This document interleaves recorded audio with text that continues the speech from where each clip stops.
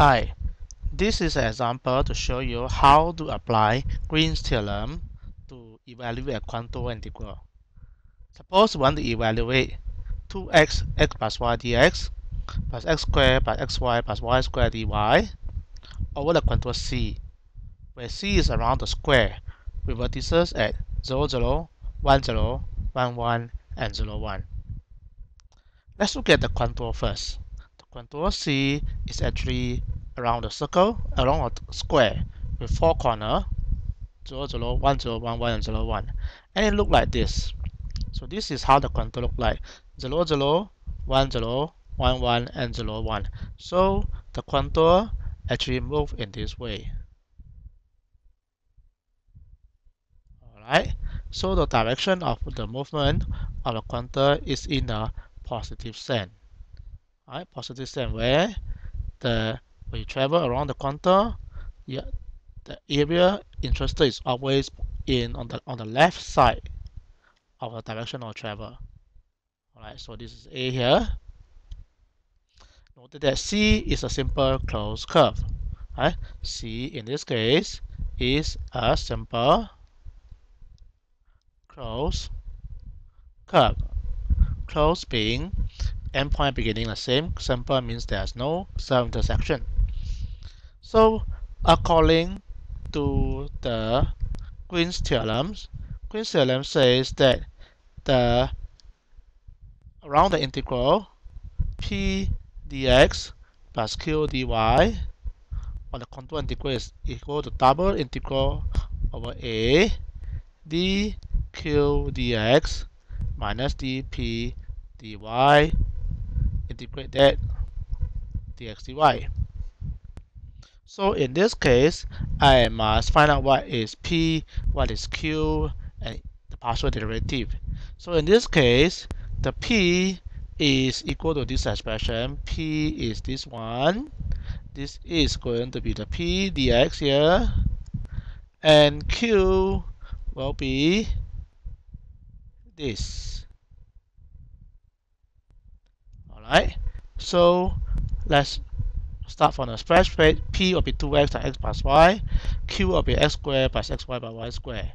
So now I need to find out what is dp dy, differentiate p with respect to y.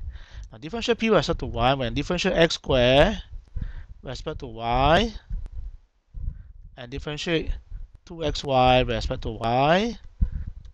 Now x then you do partial derivative, your x is treated constant. So differentiate 2x squared will be 0 because you treat x constant.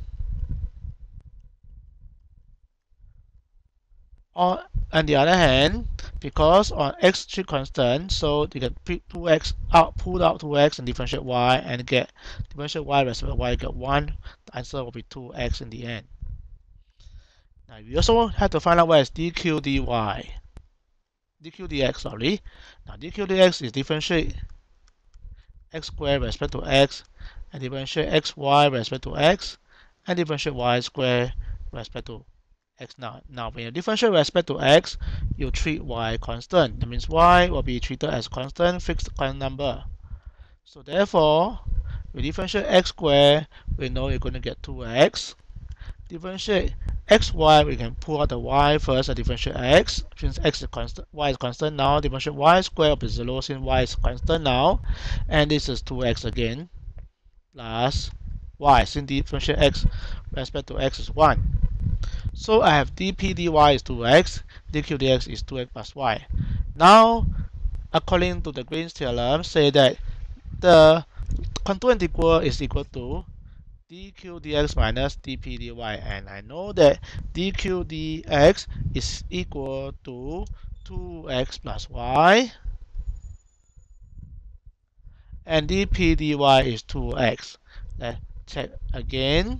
Alright, dp dy is 2x, dq dx is 2x plus y. So there will be a lot of cancellation. So that will be y dx dy.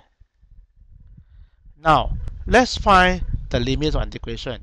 When you fill the limit of integration, you should fill in the limit for y first. Now, since the outer limit is for y, so this is for y. So what is the possible value of y for a?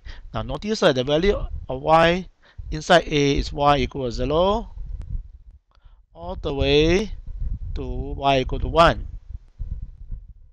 So you can fill y equal to 0 to 1. Then afterward, you're going to fill in the, limit for x now. So what are the value of x in this case for the region?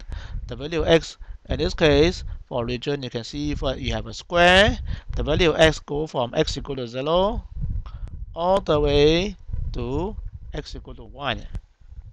Alright, so this is x equal to 0 to 1. So in the end, the limit of integration you can fill in is y from 0 to 1, x from 0 to 1, integration of y, dx dy. Now when you do the integration, you do the inner integration first.